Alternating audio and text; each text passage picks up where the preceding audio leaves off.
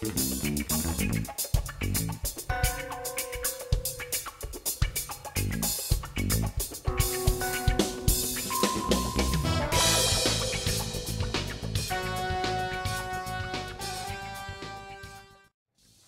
hello everyone. I'm photojournalist Haywood Galbreath, and I just wanted to take a moment to talk to you about my new book, Through the Lens History and Moments Captured. It is my first compilation of the 33 years of photojournalism that I have had.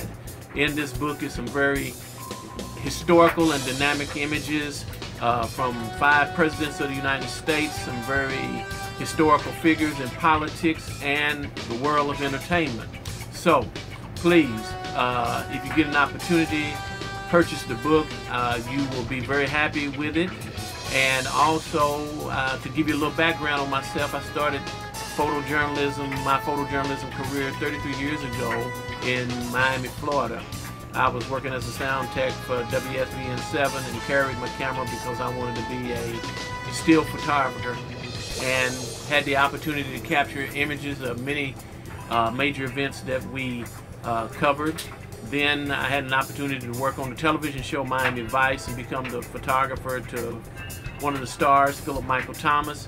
And then I came to California and went to work for the largest black-owned newspaper west of the Mississippi, the Los Angeles Sentinel, and as they say, the rest is history. I advocated for the black press, and I still continue to advocate for the black press, for black photojournalists and the black press to have the same equal opportunities as mainstream media. And in the course of that, I've had the opportunity to get out and cover many major events, like I said. So that's a little background on me. Uh, I hope you will get the book. It is titled Through the Lens History and Moments Captured. It's a very exciting and dynamic book. I know you'll be happy with it. It is a collector's item.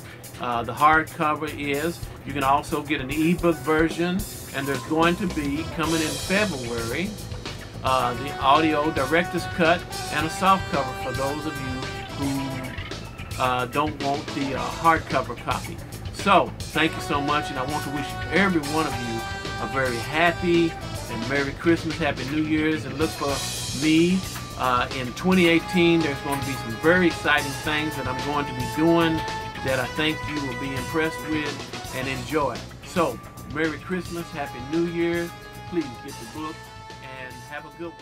Thank you.